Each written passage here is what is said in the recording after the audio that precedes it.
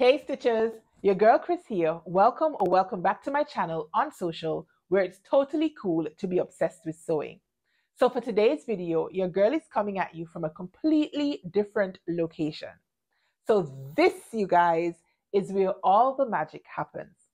Unfortunately, I don't have a room that I can dedicate to sewing, not unless I get rid of one of my kids. So until such time, then I've settled for a corner of my house and I'm filming this video from here today because I'll be sharing with you guys all of my January 2024 sewing makes and it was just so much easier to be able to access my sewing rack from this spot. So as I said, today's video is all about my January 2024 sewing makes. Now for January, your girl has knocked six garments out of the park. Now that's a big deal for me. Between work and wifing and momming, being able to sew up and complete six garments for the month just makes me feel so pleased with myself. Three of those items being for the Make 9 project for 2024. Now, just before I get into the makes of the month, let me tell you guys what I'm wearing. So this top right here is a True Bias Roscoe top, which I made, I think, in 2019. If I were to guess, I would guess 2019, and I made it for my mom. So, you guys, my mom is no longer with us, and when I was clearing out her wardrobe, I did hold on to a couple pieces of clothing that belonged to her, um, more so ones that held some sentimental value. And obviously, this top fit the bill. Now, I made this top for her as I think the first make for her, and she was super, super impressed with it. In fact, when I gave it to her, she couldn't believe that I had actually made it. She thought it was something that I bought. And so obviously this top has lots of lots of value and I like to put it on on days when I really miss my mom and I feel like I need just a little extra comfort, just, you know, feeling her presence like wrapped around me. So for today's video, I'm wearing the True Bias Roscoe blouse that I made for my mom. But that's not why you guys are here today. So let's get into my makes for January 2024. All right, so I have been accused of having a terrible memory and I actually have to concede. So if you see me looking down today, it's because I'm referring to my notes on my iPad, which is on my lap. So about those makes for January 2024. My first make for January was actually McCall's 7974, which came out in 2019. Now, when this pattern came out, it was pretty, pretty popular and there are thousands of posts under the hashtag over on Instagram. Now I made my first iteration of this pattern and I'm going to go ahead and insert a picture so that you guys can see using like a teal crepe fabric back in I think 2019 or 2020. And I wanted to tackle this dress again. So this is the version that I have made for this year. This is 7974 in view A. On the first occasion, I made view D, view D even though I secretly wanted to make view A, but didn't think I had the skill to tackle the bias area and the tie knot sleeves which accompanied the pattern. But your girl has come a long way in her sewing and I felt confident tackling this project this month and this is what she looks like. So I'm going to go ahead and insert either a video or some photos or something so that you guys can see what this project looks like on. Now for this version, I made it using this beautiful cow print cotton sateen that I picked up from Mood Fabrics. And I did in fact hack this pattern. Now I have filmed and posted a full pattern review of this make right here on this channel. So I'm going to go ahead and put the link in either here or in the description box so that you guys can go ahead and watch the full review of this make. Now, as I was saying, for this make, I did go ahead and hack the pattern by introducing a lace insert into the skirt portion of this pattern. And you guys, this pattern hack took me ages. It was really time consuming and kind of boring whilst doing it, but I really, really love the finished garment and I'm very happy with this project being my first make of 2024. My second make for the month was actually the Viki Sews Cynthia, Cynthia shirt, you guys. I'm getting tongue twisted here. The Viki Sews Cynthia shirt. And I did go ahead and post a full review right here on my channel. So if you're interested in seeing more about the Viki Sew Cynthia shirt, then I'm going to leave the link right here or in the description box so you guys can go ahead and check out that video as well. So this is the completed Cynthia shirt. And I made it using this gorgeous, gorgeous abstract rayon print fabric from Stylemaker Fabrics. And again, I hacked this pattern, but I don't even know if I should call it a hack, but it is kind of a hack because I decided to use a different fabric just for the sleeve portion of this make. So this is actually a pink chiffon fabric that I had in my stash. I can't remember where it's from. And I had the brilliant idea of introducing this chiffon sleeve into this make, which made my life that much more difficult. Now, rayon fabric is pretty slippery to work with, but it's so, so, so soft to wear. Chiffon fabric is like 10 times as slippery as rayon fabric. And so cutting out and sewing up my sleeve portion did give me just a little bit extra of a challenge. Now, it didn't help that this was my first time doing a tower placket in a shirt. Now, I've made tons of shirts already, but never one with a tower placket.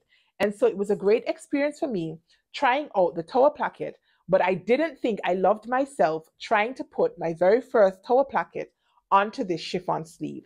Thankfully, it worked out fine, and I think the finished item is quite beautiful and pretty neat, if I do say so myself, and I love, love, love this shirt.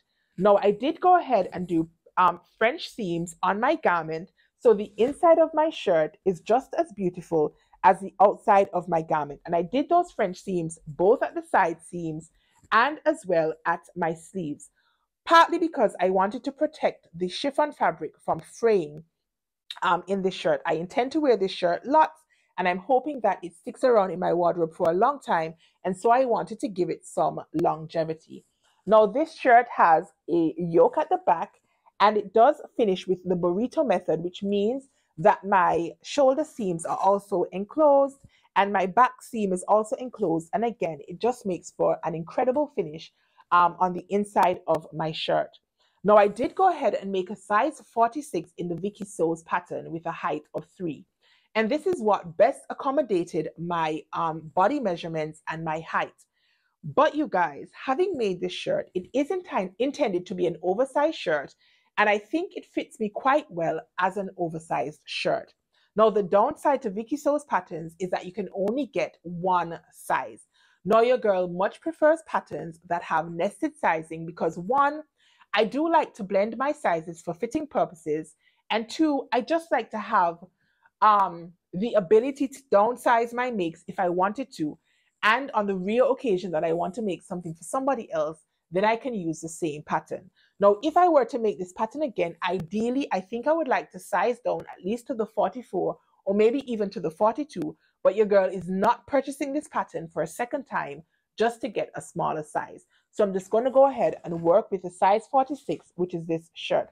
I'm going to go ahead and insert some footage so you guys can see what this shirt looks like on. I wore it already on two different occasions. The first time I wore it, I wore it like as a swimsuit cover up. Now, I was going on a boat ride with a good friend of mine, and I thought that the pink would contrast well with my green swimsuit. And so I decided to wear it as a swimsuit cover up. And you guys, I was feeling myself on the day that we took those photographs. I'm sure you guys can see from this photograph how hot I felt in this shirt as a swimsuit cover up. Now, I also went ahead and wore this shirt to work. Yes, you guys, from playtime to work time, I wore this shirt to work as like a like a regular shirt. I wore it as a regular shirt to the office. Now, I'm really not supposed to wear pink to work because um, I'm a lawyer and um, I can't wear pink to court. But on this particular day, I knew I had nothing in my calendar for court, and so I slipped it on and rocked it to the office, and I loved it as a conventional shirt as well. Now, my third make for the month also featured this fabric, but I don't have it here with me to show you guys. So I made Simplicity 9550 in a size 14 for my friend. So the same friend I was telling you about that I went on the boat ride with surprised me with a visit to Montserrat and she was here just for six days and I wanted to make her something so she could take back with her.